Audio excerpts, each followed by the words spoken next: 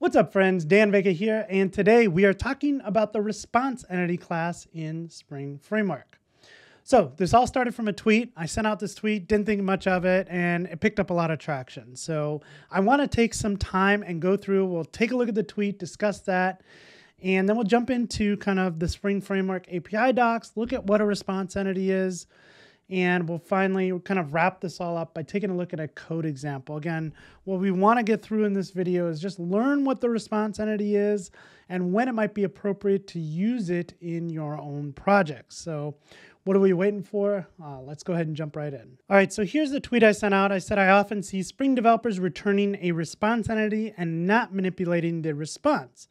If all you're going to do is this and just return the body, just return that as the return type. If you need to customize the response and you need to add headers or change the status code, you can use a response entity as the return type. That was my tweet. Here we are, 600 likes later, 57 retweets, and a whole bunch of, uh, of comments. So I want to take a look at this. Well, we, I don't want to get into the screenshot because we're going to do this in the tutorial.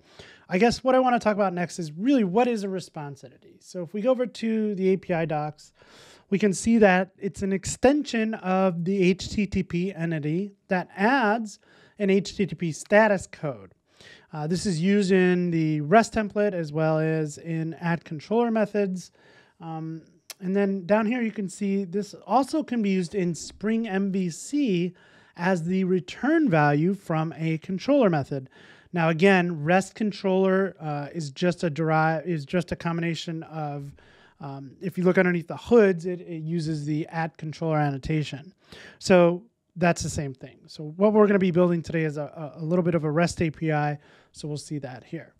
Um, so what we're going to do is build this out, and I want to just kind of take a look at the difference. So with that, let's head over to IntelliJ.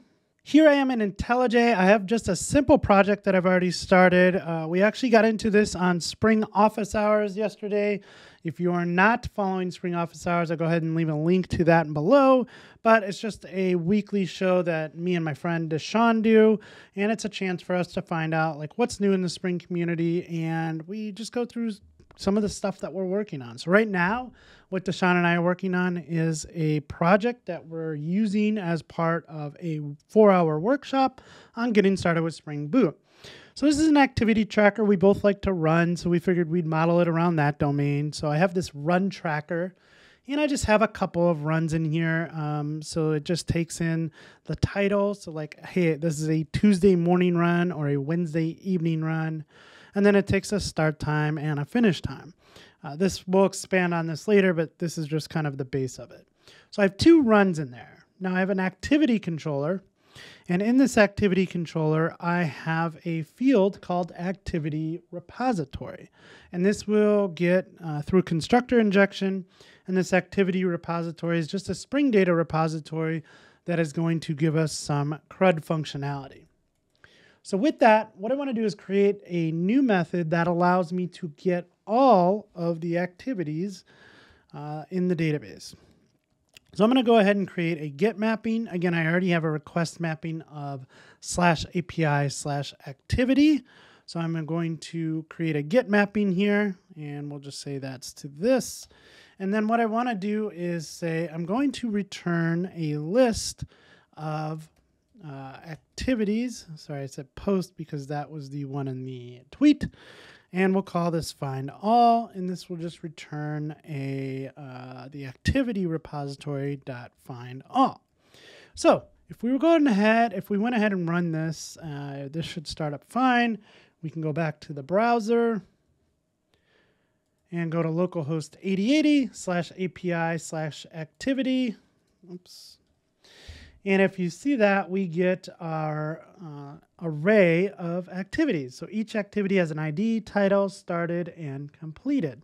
So this is what I normally do, right? This is what I normally do in my APIs. What I was saying is that I usually, okay, I won't say usually. I will say I have been seeing this lately. So they'll change, we'll change the response type, the return type to response entity and of course, this is going to still return a list of activities.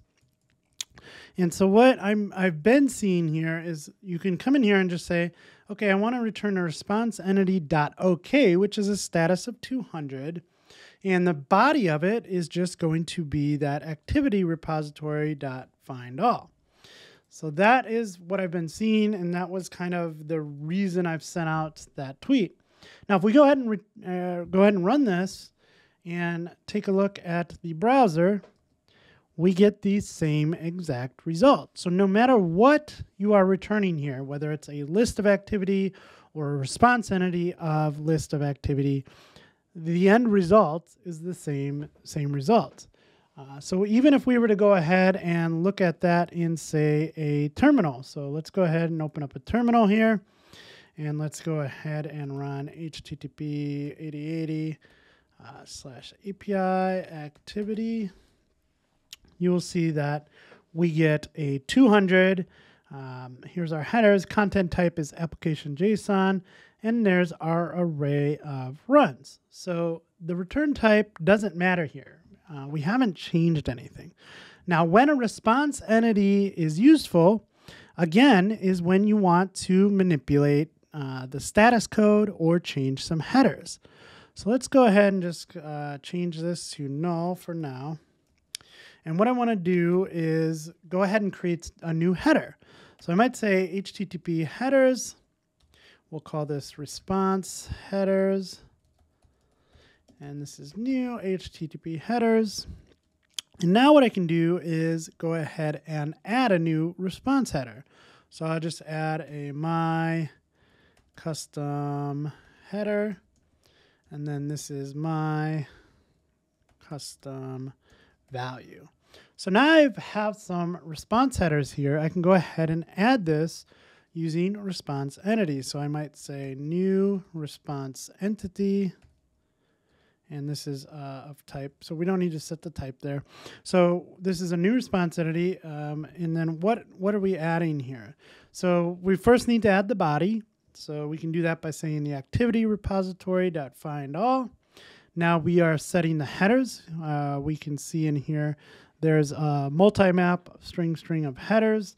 So we can go ahead and add our headers here. And then we're going to set the response code. In this case, it's the raw status code of 200. So this is the situation where you would want to use response entity because if I just returned a list of activities, there's no way for me to add a new header there. Um, so this will come up, and in this case, this makes sense. So let's go ahead and restart this. I want to go back to the terminal, and let's just clear this out, and I'm going to move this up just a little. And let's say that again.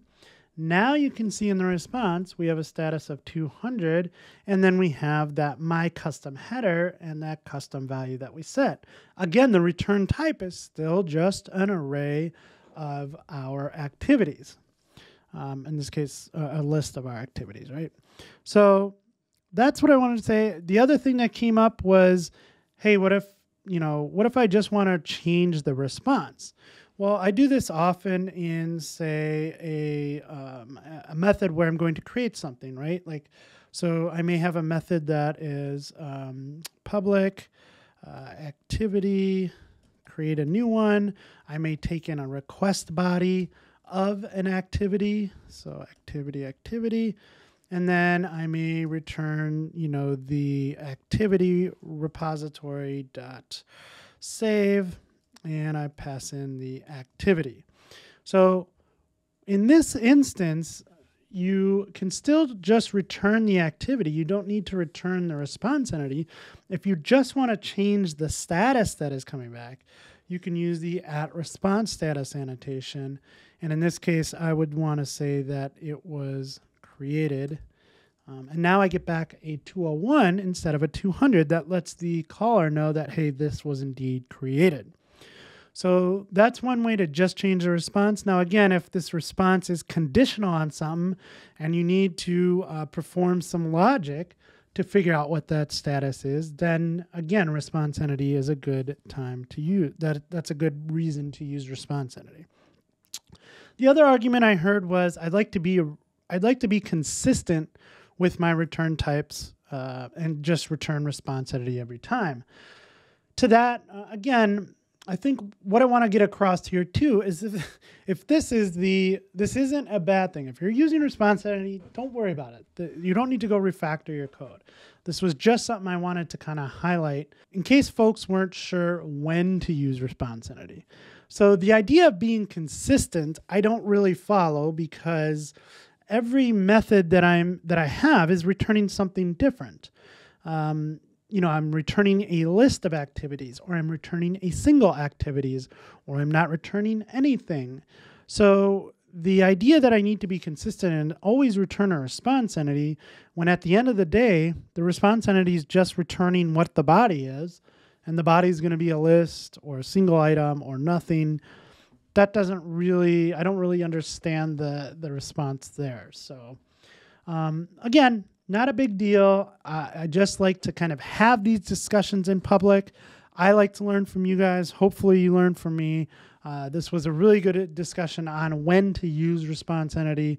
Uh, so I thought we would take the chance to go through it. So, hey, if you found some value in this video, as always, friends, do me a big favor. Give me a thumbs up, subscribe to the channel, and as always, happy coding.